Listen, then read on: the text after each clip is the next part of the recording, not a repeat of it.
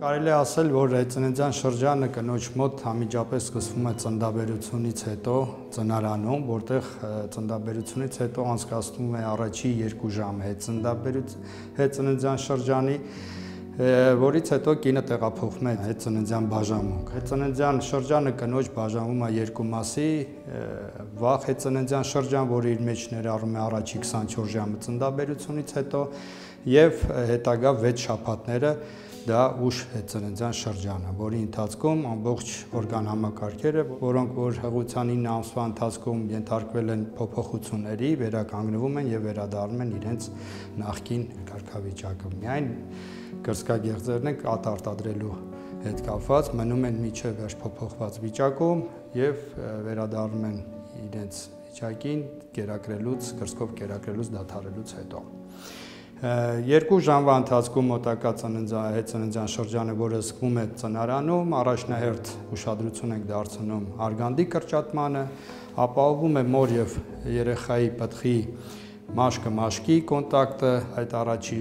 ժամերում փորձում են հենց առաջի կերակրում ապահովել ծնարանում կրսկի տալը ծնված երեխայի եւ որից հետո կինը տեղափոխվում է ծննդյան բաժանմունք որտեղ սովորաբար անցկացվում է 2-ից 3 օր։ Եթե կինը ծննդաբերում է բնական ճանապարհներով, դա կազմում է 2 օր, 3 օր։ Սովորաբար կեսարյան հատման ձևով ծննդաբերած կանայք անցկացնում են 3-ից 4 օր։ Հիմնական ուշադրությունը ծննդյան բաժանմունքում դարձվում են կերակրման ճիշտ կազմակերպմանը ձևերին, պատրաստում են փաստաթղթեր անհրաժեշտ դուզ գրման համար եւ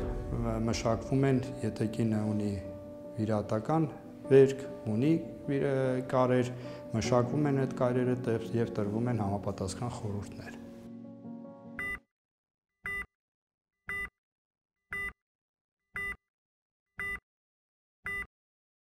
Սովորաբար հետծննդյան բարդություններից են համարվում առաջնահերթ դա էնդոմետրիտները, որը կախված է ինֆեկցիաների հետ, որը կարա նեղություն տա։ Սովորաբար ծնդաբերությունից հետո նորմալ բնական ճանապարհով նրանք անցնում են մինչև 4%, կեսարյան հատման դեպքերում այդ տոկոսը մի քիչ բարձր է, մինչև 8-ից 10% կարա բարդություններ լինի կախված ինֆեկցիաների հետ։ Նման դեպքերում կինը նշում է բարձր ջերմություն, ունենում է արտադրություն արտասովոր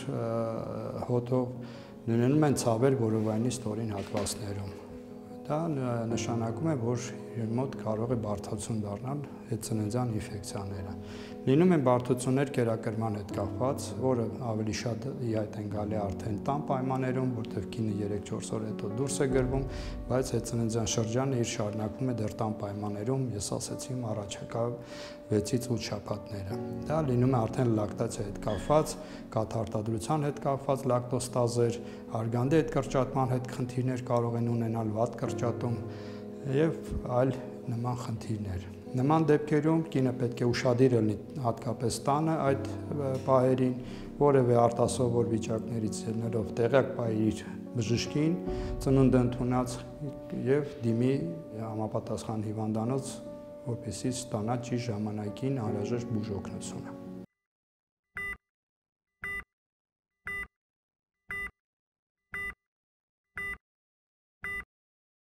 Սննդակարգը սովորաբար ծննդյան շրջանում առանձնապես չի տարբերվում։ Միակ բանը այն է, որ ծննդաբերությունից հետո, քանի որ կինը սկսելու է կերակրել կրծքով, մենք սահմանափակում ենք ցիտրուսային հա, սննդակարգը հանում եք ցիտրուսները, ինչ-որ շոկոլադը, պարունակող, ասենք, կոնֆետները, որ այն մեղրը ցանկալի չի, նման բաներ, որ այն բոլորը, որը կարա հետագա կաթի միջոցով անցնել երեխային եւ առաջացնել ալերգիկ ռեակցիաներ, դիատեզներ եւ այլն։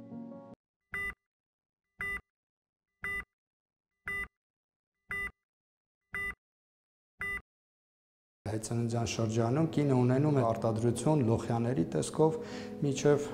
որոնք կարող են տևել միջև 6 շաբաթ այդ դեպքում ունենում է արտադրություն կարող է լինել արյան հետքեր դա նշանակում է որ եւ դեռ արգանդի խորոչում արկային մակերեսներ բաց որտեղից կարող է ինֆեկցիա տարածվել եւ ցանկալի առաջի այդ 6 շաբաթները խուսափել հարաբերությունից բայց եթե ցանկություն կա միայն գոնե օգտագործել պահպանակը, որտեղ մեծ է ռիսկը ինֆեկցիայի եւ հետագա բարդությունների կապված բենդոմետրիտի, բորբոքումների եւ այլ եւ այլ։ Ցանկալի է զուսպ մնալ մոտակա 6-ից 8 շաբաթ։ Հետո արդեն խնդիր չի լինի դա կեսարյան ատում, թե ծնդաբերություն բնական ճանապարհով նույնն է մոտեցումը։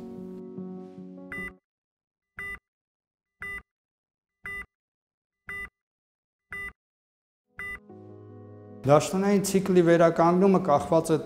նախ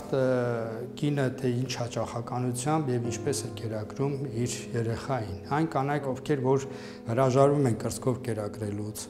ովքեր շատ քիչ են կերակրում կրսկով եւ զուգակցում են արհեստական կաթի փոշիով, այդ այդ կանանց մոտ դաշնային ցիկլը արդեն վերականգնվում է ավելի շուտ, հա, կարող են նրանք արդեն մոտ 7-ից 8 շաբաթ հետո տեսնել արդեն դաշտան։ Իրանց մոտ որ որ չի կերակրում կրծքով եւ օվուլյացիա կարող է լինել, հա, ծվազատում արդեն 1 ամիս հետո։ Իսկ այն կանայք, ովքեր կանոնավոր կերակրում են 4 ժամ 1 Ցերեկը գոնե գիշերները արանք մինիմում 6 ժամ 1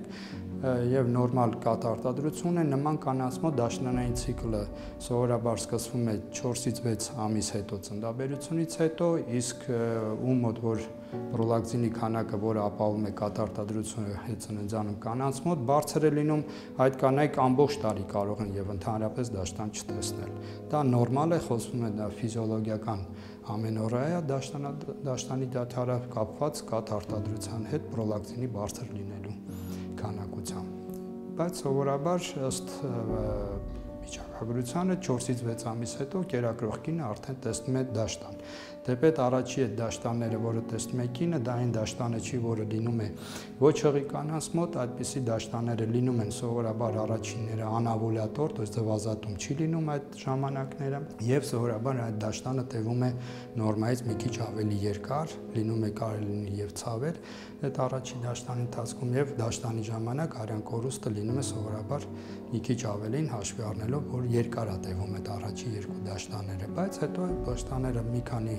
ցիկլ հետո վերականգնում են եւ կինը արդեն կարող է եւ նորմալ դաշտան տենա իր օրվա հետ կապված եւ արյան կորուստի քանակով։ Բայց դաշտան տեսնելը կամ չտեսնելը հետծննդյան շրջանում ուզում եմ ասեմ, դա չի համարվում կոնտրացեպցիայի միջոց եւ շատերը լսած կլինեք, որ կանայք հատկապես ովքեր որ կերակրում են երկար մեկ էլ ստիպված հանկարծակի են գալիս այն բանով, որ իրանք կրկին հղի են լինում կերակրելով եւ դաշտան չտեսնելով իրանք հղի դիմում են բժշկի, պարզապես գալով արդեն մեծ ժամկետներում, երբ որ պտղի խաղ են արդեն զգում դաժե տենց դեպքեր կա, կերակրող կինը դիմում է արդեն պտղի խաղը զգալով, որ հղի է մեծ ժամկետով, դա արդեն 18-19 շաբաթական զգում է, որ խաղ կա, չիմանալով, չկասկածելով, որ ինքը հղի է։ Այնպես որ կանայք պետք է իմանան, որ հետծննդյան շրջանը եւ լակտացիան կերակրելը դա կոնտրացեպցիայի միջոց չի, պետք է պաշտպանվել, հատկապես 3 ամիս անց, երբ որ արդեն սկսվում են օվուլյացիաները ձվազատումը պետք է զգուշ լինեն, որ իմանան, որ կարող է դաշտան չտենալով իրանք հղիանան։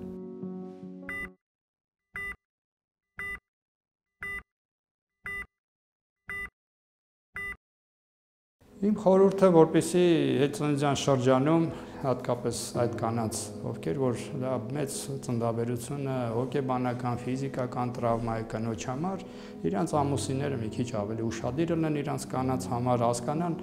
այդ ստրեսը, որը իրանք տանում են։ Ես զգում եմ շատ հաճախ եւ ամուսինները շատ հոգատար են լինում, բայց այդ հոգատարությունը անմիջապես դա միայն ծնդաբերության այդ ուրախության պահին չլինի, այլ իմանա, որ այդ ծննդյան շրջանը բավականին մեծ է եւ այդ ստրեսը